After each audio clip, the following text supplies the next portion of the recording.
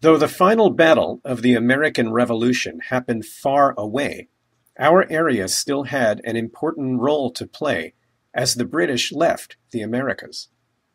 On May 6, 1783, Sir Guy Carleton, the British commander, rode ashore here in Piermont to meet with George Washington at the De Wint House in Tappan. Their task was to negotiate how to turn over New York City which was still full of British troops, to the Americans. It was not a simple matter. There were troublesome issues. The British had promised that any slaves who joined the British would receive their freedom. Large numbers of slaves had run away during the war to join the British, and Sir Guy had already helped many of them to leave New York before it became part of the new country. This, to Washington, was theft of the property of his countrymen, and was a violation of the agreement which had ended the war. Sir Guy had kept records of all the former slaves he had allowed to leave, and he proposed that Washington accept payment for them rather than their return.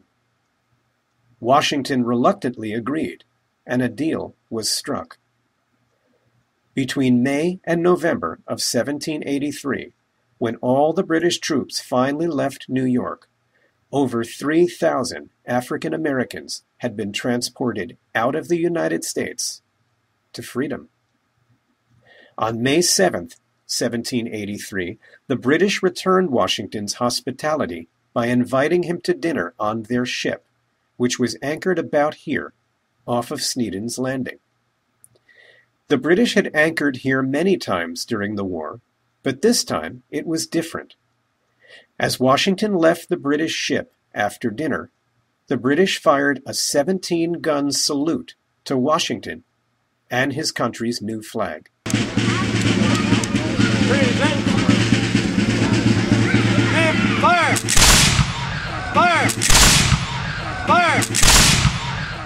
It was the first time the British had saluted the flag of the new United States and it happened here, on our river, in our neighborhood.